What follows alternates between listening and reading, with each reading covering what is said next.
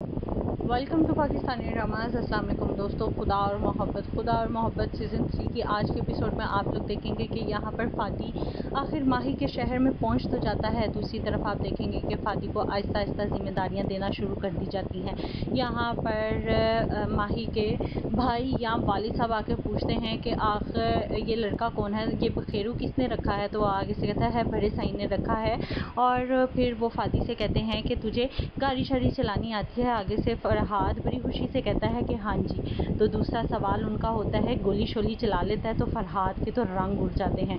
फरहाद जिस रास्ते पे चढ़ा है, उस रास्ते में हाली कंकर ही कंकर नहीं, बल्कि वहाँ पर हर मोड़ पर हाथ पे जान रखने, हथेली पर जान रख के चलना पड़ेगा। दोस्तों, आप देखेंगे कि यहाँ पर जब फ़रहाद को ड्राइवर बना दिया जाता है तो उसी गाड़ी में माही ने अपनी यूनिवर्सिटी जाना होता है और यहाँ पर मासी यानी कि जो मासी माही के साथ लाहौर आई थी वो फ़रहाद को देख लेती हैं और वो जाके फ़ौर भाभी को बताती हैं कि मेरी गुनागार आँखों ने उसी लड़की को लड़के को देखा है जो लाहौर में मौजूद था और वो ये बात सुनकर परेशान हो जाती हैं और वो कहती हैं कि ये बात किसी के कानों तक ना पहुँचे वो आ, हमारे लिए तो मुसीबत जो खड़ी होगी होगी, वो लड़का बेमौत मारा जाएगा।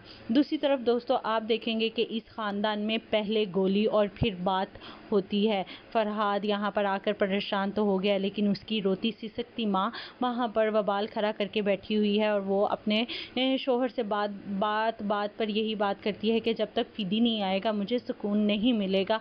आप किस तरह के बाप हैं कि आपने फ़िदी को इतनी आसानी से इतनी दूर भेज दिया है? आगे इस ड्रामे में क्या होगा, जानने के लिए मेरे चैनल को सब्सक्राइब कीजिए, वीडियो को शेयर कीजिए लाइक कीजिए, कमेंट्स करना हरगिज़ मत भूलिएगा। अपना बहुत सारा ख्याल रखें। अल्लाह हाफिज़।